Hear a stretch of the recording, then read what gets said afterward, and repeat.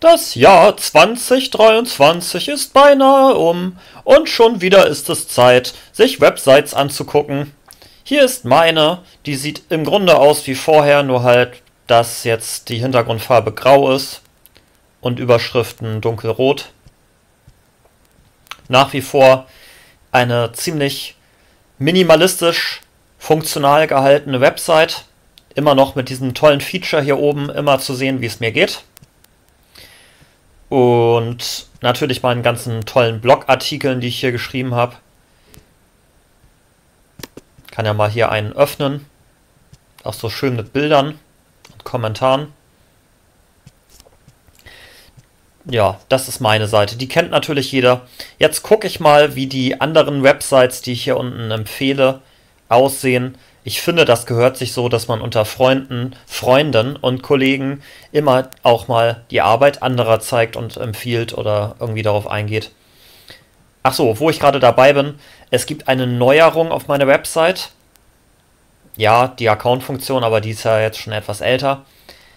Ich meine den Datenschutzartikel, die Datenschutzerklärung, in der erklärt wird, was eigentlich mit den Daten passiert, die hier landen. Also wenn jemand zum Beispiel meine Website besucht, ob dann die Daten dieses Besuchers hier gespeichert werden, irgendwo verarbeitet werden und so weiter. Das soll man haben, sowas. Findet zumindest jemand, der auch sowas mal gemacht hat. Schauen wir uns zuerst die Website LFF an. LFF One bin gar nicht angemeldet gerade. Warum ist Account hier? Ah. Mache ich doch das gleich mal. Ah. Ja, auch hier haben wir eine Anmeldefunktion und kein Link wieder zur Startseite. Das ist jetzt eine kleine Kritik. Man muss also hier die URL ändern, um wieder zurückzukommen. Ähm, man hat hier eine Seite, bei der man den aktuellen Serverstatus sehen kann. Das finde ich auch ganz nett. Also wir sehen jetzt, dass um jetzt um 14.30 Uhr etwa seit über 8 Stunden der Server an ist. Der ist also nachts immer aus. Mm, ja, ein Linux-Rechner mit einem Opteron von, ich glaube, 2008 oder so. Oder 2006, ich bin mir nicht sicher. Den hatte ich auch ein paar Jahre als Server benutzt. Gutes Gerät. Äh, mal gucken. Der Developer-Programmier-Entwicklerstand, den gibt es nicht. Da haben wir schon mal erstmal einen kleinen Fehler gefunden. Hm.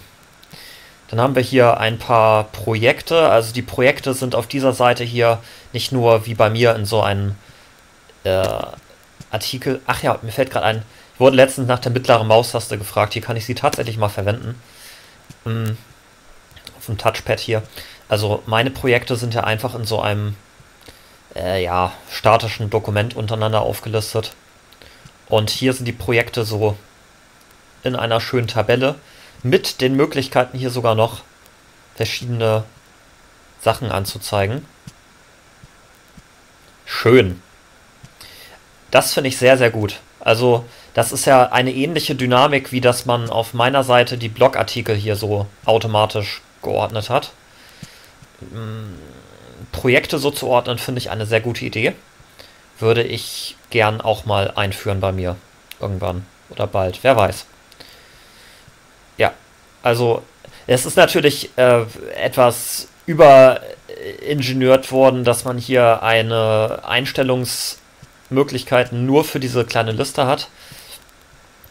Aber ja, das, das ist eine schöne Spielerei und ist ja auch einigermaßen praktisch, aber sehr schön finde ich die Werbung hier unten. Das gibt auch direkt einen sehr großen Pluspunkt, dass hier auch auf Seiten verlinkt wird. Ich habe ja gerade gesagt, dass man das eigentlich so machen sollte, dass man auch auf andere verweist und nicht nur möchte, dass andere auf einen verweisen.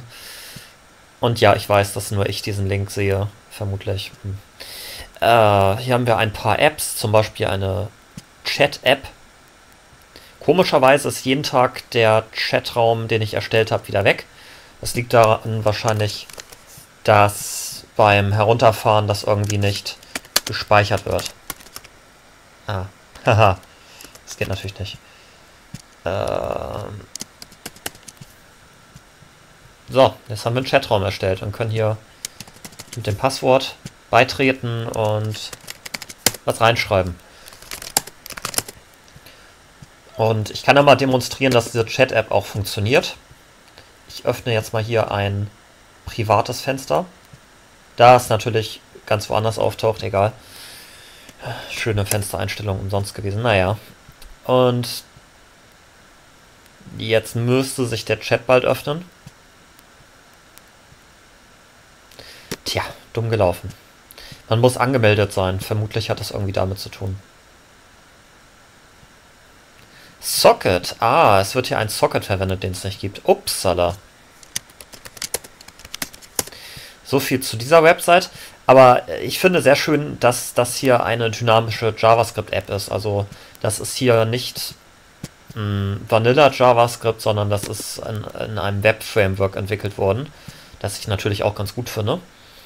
Hm, mal gucken, wie sieht dann der Quelltext aus hiervon? Hm, hm, hm. Ja, hier oben haben wir so den State und, äh, und verschiedene State-Modifikationen. Hm. Hier hat man dann die Komponenten, die verschiedenen Ansichten. Toll. So, das war die erste Seite. Kommen wir zur zweiten Seite. Die ist neu, die habe ich noch nicht gezeigt bisher. Das ist die Seite Argo Tunnel Error. Und das liegt daran, dass diese Website auf einem Rechner gehostet ist, der ziemlich viel Energie verbraucht und leider deswegen gerade gar nicht an ist. Hm. Naja, aber guckt euch die Seite gerne an. Es ist eine nette kleine Seite, auch mit einem schicken programmierten Projekt drin. Mal gucken, geht denn diese Seite hier? Ja, diese Seite hier geht, denn sie ist auf meinem Server gehostet. Kleine Werbung am Rande. Also wer eine Website haben möchte, die fast immer erreichbar ist, der kann die auf meinem Server kostenlos hosten und dann funktioniert das meistens. Also es gibt manchmal leider so Minuten, wo meine Website einfach aus irgendeinem Grund nicht erreichbar ist, aber das finde ich ist inzwischen viel seltener. Ja, das hier ist eine Seite von H4L4 und es gibt hier noch keine Projekte auf der Website. Es gibt hier einen Verweis auf ein Scratch-Konto. Auch wieder sehr gut. Es gibt Verweise auf gute andere Websites. Ähm, und auf zum Beispiel Spiele, die andere Leute gemacht haben, die auch gut sind. Mir gefällt das minimalistische Design, der einfache Aufbau. Ähm, dass hier zweimal gezwinkert wird, ist jetzt etwas zu viel, finde ich. Und mh, hm, dass dieser Kommentar hier als extra Zeile ist, das hätte ich jetzt auch nicht so gemacht, aber naja, nicht schlimm. Geht. Dann diese Seite hier, die hat sich auch seit der letzten Vorstellung verändert. Ein schönes, elegantes Design, schwarzer Hintergrund, weiße Schrift, schöner Regenbogen hier. Da fühle ich mich angesprochen. Ähm, schönes Logo.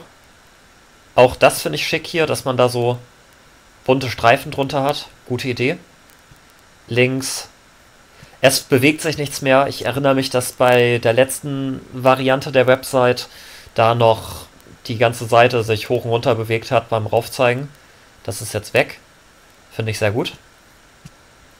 Also ich würde sagen, bisher die schönste Website, von denen ich gezeigt habe. Also selbst schöner als meine Website. Meine Website ist zwar sehr minimalistisch, aber ich habe jetzt hier nicht auf das Auge geachtet, sondern eher auf die äh, Informationsdichte. Und das ist bei dieser Seite anders. Hier haben wir oben einen Header, einen Kopfbereich, der schön groß ist. Abstände, Farben. Einfach schön. Toll. Blogartikel das wird jetzt den einen oder anderen aufregen. Es gibt nämlich Menschen, die mögen äh, dieses Spiel Werwolf gar nicht. Ich kenne es nicht, aber vielleicht ist das ja wirklich schlecht, weiß ich nicht. Wir haben hier lustige Sachen. zum Beispiel Artikel. Äh, kleiner Kritikpunkt. Man kann nicht auf das Bild oder auf die Überschrift klicken, sondern muss hier unten auf Weiterlesen klicken. Das hätte ich jetzt nicht so gemacht. Dann auch gut äh, die Betitelung mit diesen beiden Schrägstrichen, das finde ich auch ganz lustig. Also, das, das macht so Sinn, könnte man sagen. Hier hat man dann Fotos in, im falschen Seitenformat, aber naja, naja, passiert. Ähm, schöne Statistik, autofreie Stadt, wie das aussehen könnte. Sehr schön hier die Straße mit den Fahrrädern und, und Blumentöpfen und so, ja. Ja, wobei man jetzt hier von der Straße nicht so viel sieht, also das könnte fast echt sein, aber naja, gut. Ja, schön. Also, finde ich schick. Sinnvoll, sehr sinnvolle Artikel auch. Ähm, auch das hier fand ich ganz schick. Alte Sachen sind auch noch drin. Das finde ich auch noch gut. Es gibt ja Menschen, die nehmen einfach alte Sachen raus oder wollen nicht, dass ich alte Sachen zeige. Aber hier so alte Sachen, die noch vor fast einem Jahr passiert sind, die sind einfach noch drin. Man kann sie immer noch, immer noch sich angucken. Das finde ich gut. Dann haben wir hier noch verschiedene äh, Projekte oder Unterseiten. Hier kann man raufklicken. Also hier sieht man dann so ein paar S-Sachen. Finde ich auch sehr schön. Mit den ganzen Symbolbildern, dass man dann auch eine Vorstellung hat davon. Auch sehr gut. Also, soweit es, es sind ein paar Imperfektionen drin, also sowas hier, aber äh, ich, ich bin sehr, sehr, sehr zufrieden mit dieser Website. Also ich ähm, sollte die Website eigentlich sogar an Stelle einstellen hier. Das ist bisher meine Lieblingswebsite gewesen von allen. Ich finde sie sogar noch schöner als meine, habe ich ja schon gesagt. Aber ja, es kommt ja nicht immer auf Schönheit nur an, sondern auch auf andere Dinge. Dann haben wir hier eine Website, die sowohl etwas schön als auch etwas sinnvoll ist. Hier haben wir ein schickes, selbstgemachtes Logo. Das ist die Jahreswip-Seite. Ja, ich habe gefühlt zehnmal schon erwähnt, dass das hier weder ich mir, äh, dass ich mir das weder merken kann, noch dass ich das aussprechen kann. Aber egal. Ähm, ja, das ist ein, ein, ein schickes Wappen. Das hat wahrscheinlich auch irgendeine Bedeutung. Hier mit einem aktuellen Zustand sozusagen auch. Hier haben wir wieder unten eine Rubrik mit äh, Werbung zu guten anderen Websites. Das finde ich auch sehr gut. Die Website ist sogar schon für 2024 abgesichert, obwohl wir das Jahr noch gar nicht erreicht haben. Das ist auch interessant. Hm. Die anderen Seiten sind nicht so stark ausgestaffelt. Ach ja, was ich vergessen habe zu erwähnen, also was ich auch sehr schön finde an den anderen Websites, die ich bisher gezeigt habe, also fast alle, ist einmal hier die LFF-Website. Die ist auch bei GitHub. Ich sehe ich seh gar keinen GitHub-Link hier. Hier vielleicht? Nee. Ha. Also die ist auch auf GitHub. Und das gleiche gilt für ähm, diese Website. Die ist auch bei GitHub. Mal gucken, kann ich hier das mal öffnen. Ja. So. Das ist eine schöne Transparenz. Das heißt also, wir haben nicht nur die Seite, die wir uns angucken können, sondern wir haben auch noch so den Quelltext davon und sehen, was wann geändert wurde und wie das aufgebaut ist und so weiter. Das finde ich sehr schön. Das gilt auch für diese Website. Die ist auch hier bei GitHub drin. Und, ach ja, jetzt ist es geladen. Etwas sass, dass hier mein Projekt geforkt wurde, was auch immer das werden soll. Hä, ja. Aber ja, hier, hier ist dann auch der Quelltext davon.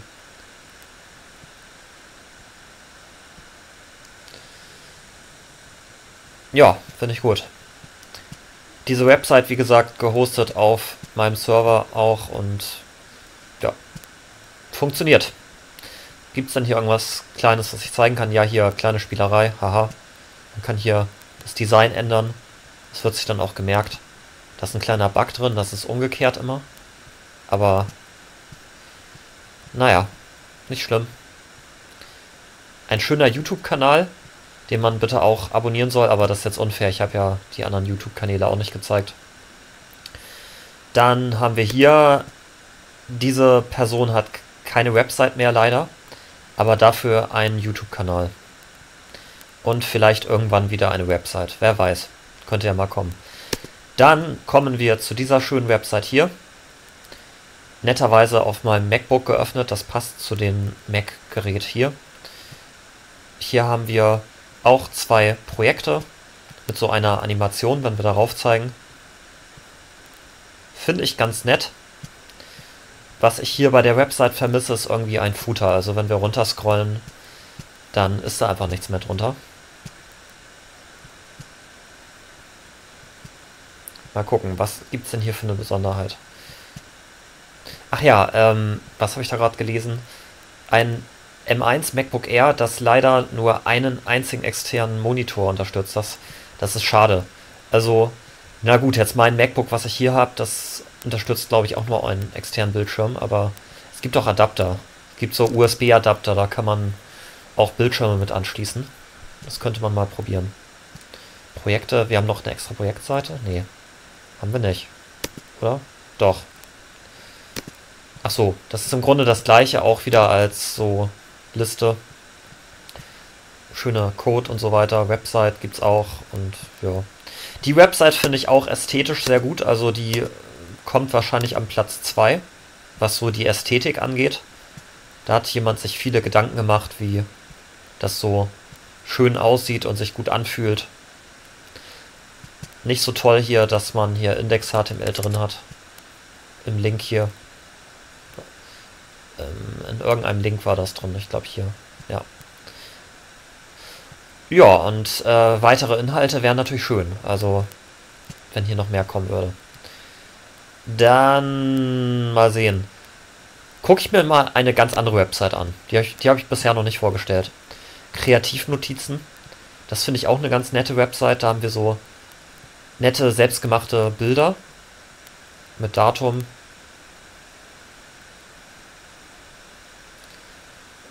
Gute Vorsätze. Hahaha. Hahaha. witzig. Witzig, witzig. Finde ich gut. Also äh, auch schöne Website mit schönen Inhalten. Sehr kreativ finde ich auch diese Website hier, die nämlich nach einem Gerät äh, gestaltet wurde, das ich habe. Das habe ich, dieses Gerät, hahaha. Mm, und die ganze Website ist aufgebaut wie das User Interface von diesem Gerät. Das finde ich toll. Ja. Dann haben wir noch eine weitere Website, die auch gehostet wird auf meinem Server. Die komischerweise jetzt sehr lange lädt. Wer weiß warum. Ach so, ja, ich weiß, warum das sehr lange lädt, weil ich dummerweise IPv6 bei der Domain eingestellt habe. Und das wird leider nicht aktualisiert, deswegen muss man da immer für so einen Timeout warten. Das sollte ich mal umkonfigurieren. Da haben wir so schöne Bilder mit Leuten, die da an Hauseingängen rumstehen, die ich nicht benennen möchte. Ich finde das Design ganz schick. Auch mit so Effekten, wenn man da draufklickt, haben wir hier so einen, so einen schönen Artikel. Ja, mit WordPress wieder gemacht. Auch eine Seite, die mit WordPress gemacht ist, ist diese hier. Eine Buchholzer-Seite. Mit so schönen Effekten, so schöne Schrifteffekte hier bei unseren. Das betont so den Egoismus etwas. Der gesunde Egoismus natürlich. Und dann haben wir hier so verschiedene Artikel und tolle Bilder. Auch eine Datenschutzerklärung die vom Layout jetzt nicht so super schön ist, aber naja. Ja, das waren die Websites, die bei meiner Website verlinkt sind. Und ich würde mich freuen, wenn weitere Websites dazukommen. Kommt ja wahrscheinlich bald auch. Und wenn natürlich die Website vom Kiwi-König bald auch irgendwie rund um die Uhr gehostet wird oder zumindest tagsüber. Geht wahrscheinlich auch bald. Das Gerät ist er schon da.